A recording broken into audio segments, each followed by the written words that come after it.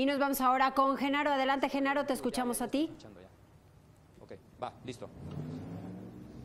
¿Qué tal, Oli? Muy buenos días. Nueva cuenta, pues me encuentro en la 9 Poniente y 16 de septiembre para dar seguimiento al tema de franeleros. En los espacios de Noticieros Televisa Puebla hemos hablado del asunto de la posible instalación de parquímetros y ahora vamos a abordar el lado contrario, el lado opuesto, los franeleros.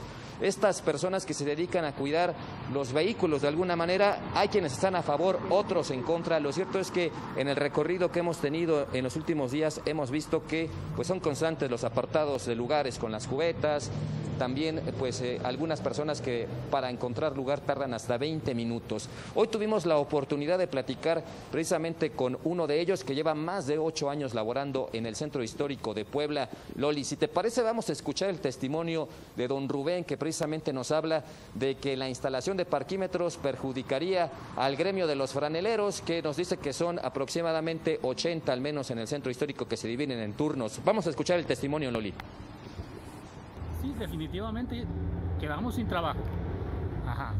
Otras personas que, necesitan eh, que les cuiden su coche, pues tendrán que dejar su coche en el, estacionamiento. Y lo más duro es que vamos a quedar sin empleo. Sí, vamos a quedar sin trabajo. ¿Qué sustento que llevar a la casa para, para la comida? no va a haber ninguna oportunidad. Genaro. Sí, eh, Loli, pues ahí está el testimonio de este franelero. Mencionarte que eh, prácticamente toda la calle 9 Poniente está llena de cubetas, no faltan los conos.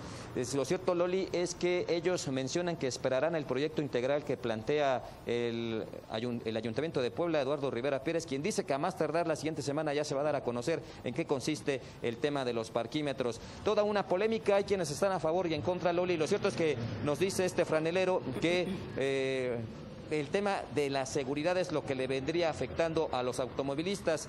Fíjate que hay unos que tienen una cuota fija, unos cobran 50 pesos, mientras que otros cobran 20 días por todo el día de vigilancia. Y ya el lavado nos comentan que lo cobran en 50 pesos por fuera. Pues ahí sí las cosas, Loli. Eh, habrá que esperar cuál es la decisión del el Ayuntamiento de Puebla. Bueno, pues ya veremos, porque si van a pagar, pues sí se necesita que haya seguridad en las calles.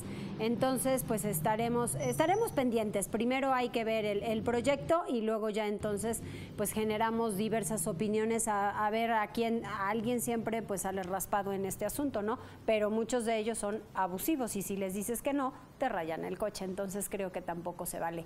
Gracias, Genaro.